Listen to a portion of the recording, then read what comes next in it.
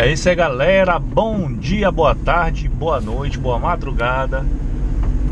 Dependendo muito do horário que vocês estão aí do outro lado da tela acompanhando esse vídeo, em suas residências, no trabalho, dia de folga, lazer, férias, independente da circunstância.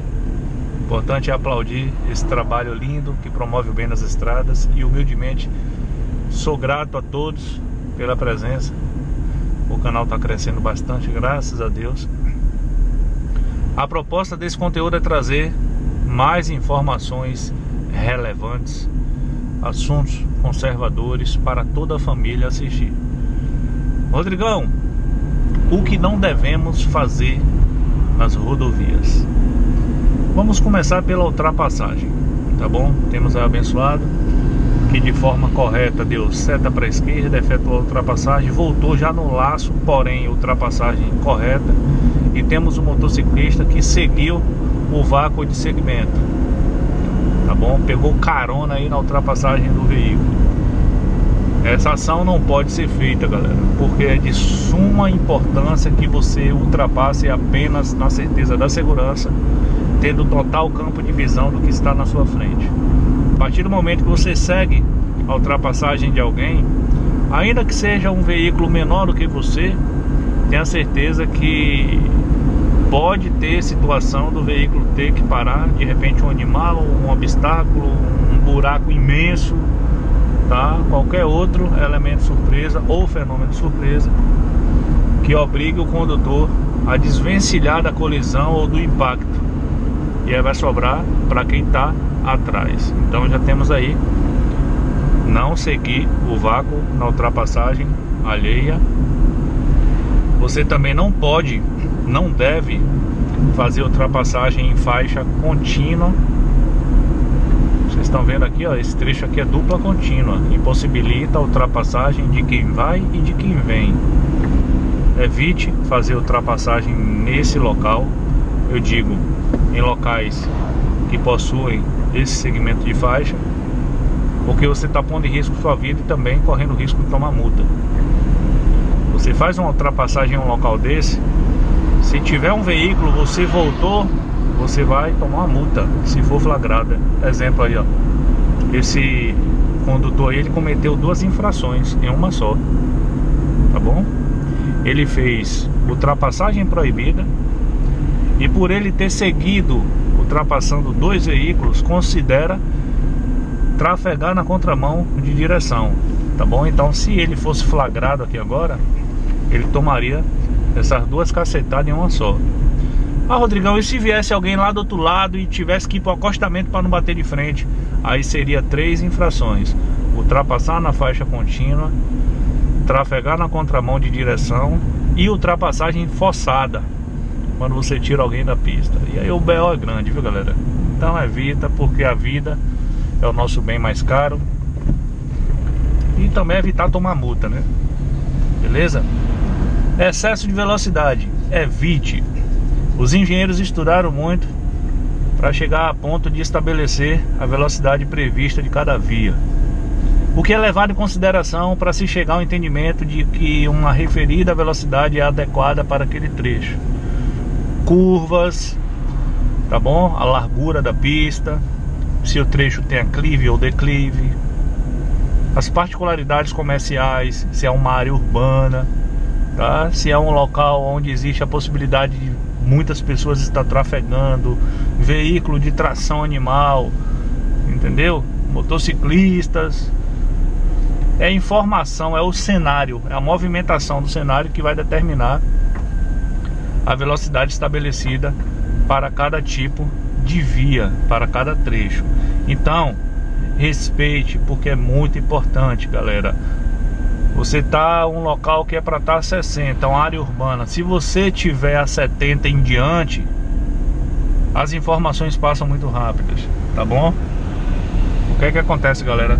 Eu vou ter que adiantar o lado aqui, ó, faixa seccionada agradecer.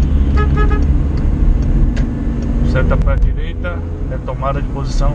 Vou ter que adiantar agora aqui nessa subida, pessoal, porque é um trecho lento. tá? E se eu matracar demais, já sabe que o BO é grande. Fiz a ultrapassagem ali porque foi o único momento lógico que eu tive para ultrapassar. Isso prova que vale a pena esperar e que toda imprudência é desnecessária, não compensa, não precisa ser imprudente, tá bom? Estamos na BR 101 quilômetro é, 614, já passamos da região de Camacan, estamos no sul da Bahia, seguindo o fluxo. Então, galera, se você está no trecho que é 60 e de repente você está em alta velocidade, 70 em diante, o que é que vai acontecer? O elemento surpresa você não vai conseguir parar, porque o cenário não vai viabilizar a segurança. Então a segurança quem faz é você. Tá bom? Outro passo muito importante, vai entrar nas curvas, antecipa-se aos fatos. Reduz a velocidade antes. Não tenta consertar no esteço da curva, porque vai dar BO. Se você for baixo leve, vai partir de um lado para o outro. Se você for alto, tá vazio ou pesado, vai deitar na curva. Isso é fato. Vocês podem observar muitas marcas de freios nas curvas com indícios de, de tombamento. Isso se deve a essa questão do cara entrar em alta velocidade, percebeu que vai dar BO, tenta consertar e aí já sabe, não tem para onde correr.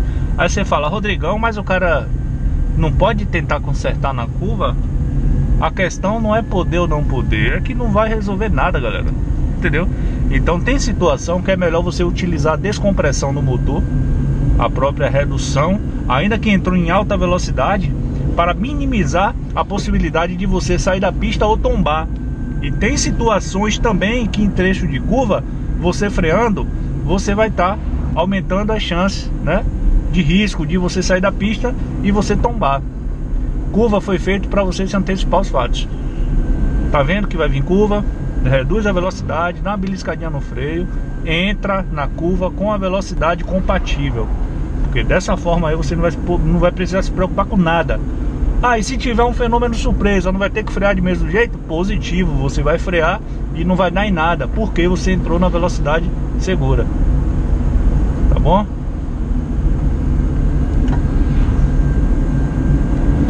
E é assim que funciona. Precisa ter pressa. Tá bom? Pense assim, ah, quer chegar cedo? Saia cedo. A própria rodovia tem picos de atraso. Horário de um grande fluxo. Pela manhã todo mundo saindo. De 11 horas até 1 da tarde a galera parando para almoçar. De 5 horas da tarde, no caso de 17 horas até as 19 a galera aí movimentando os postos aí, pousada e tal, aquela movimentação brusca. Então, tem os horários estratégicos, tá bom? Então já sabe, não precisa ter pressa, saia cedo. Um macete, leve bastante água, leve frutas, tá? Porque tudo pode acontecer. De repente teve algum imprevisto na rodovia, um acidente, uma obstrução, qualquer coisa. Engarrafou, você não tem uma segunda opção de rota, ou então às vezes tem, mas não compensa por conta do perigo.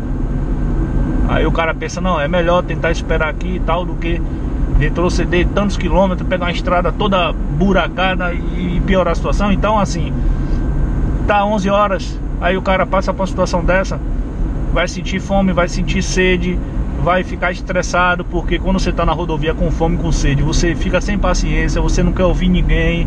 Aí de repente tá com o cachorro dentro do carro, mulher, menino, papagaio, aquela gritaria, aquela zoada toda, o cara fica doido. Isso é real. Porque você com fome, com sede, você perde a paciência.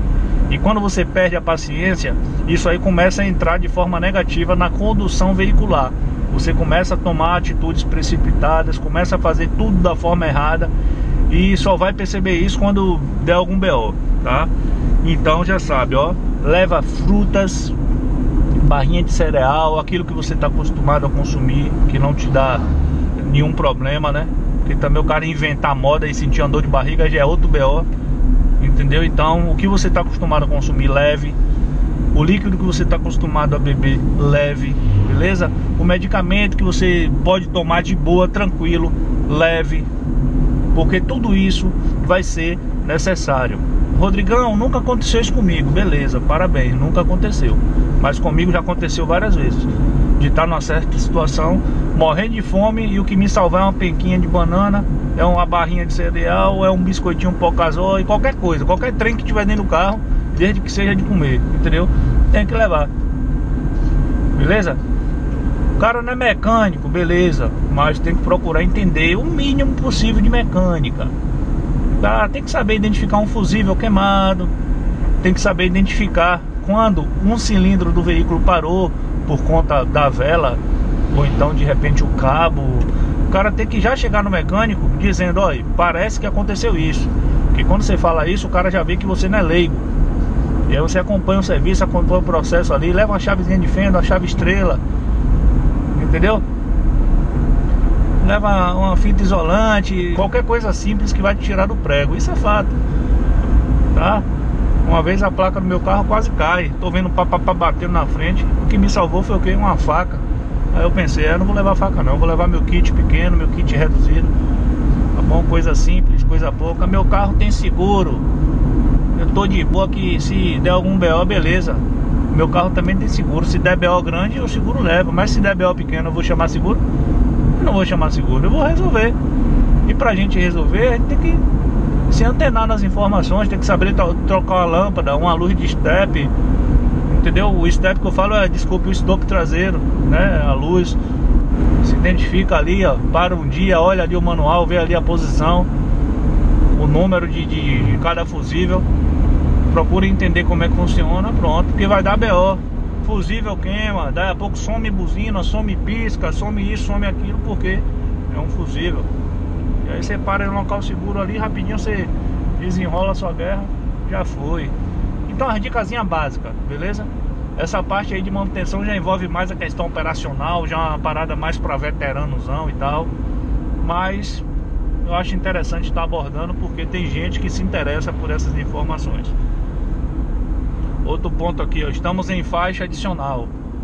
O lado direito é destinado para os veículos mais lentos, independente de tamanho, tá? Tem situação que vai ter uma placa, veículo pesado vai para a direita, independente de qualquer coisa. Aí se tivesse esse veículo aí nesse local, seria é, infração. Mas nesse caso aqui é diferente.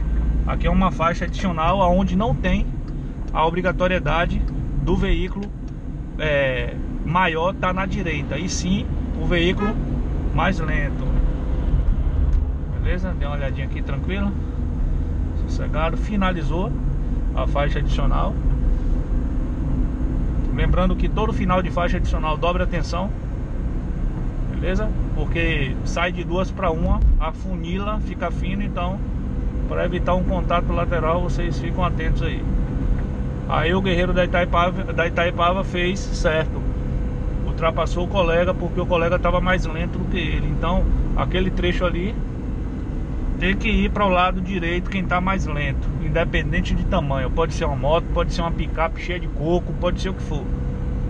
Entendeu? Mas vocês passarão por momentos que vai ter a faixa adicional e nela vai estar tá assim, ó, o desenho de um caminhão sinalizando para a direita caso, veículos pesados à direita. Aí sim, já é uma obrigação, né? Porque tem a informação, então a partir do momento que está informando, já tem a obrigação de seguir a, a determinação.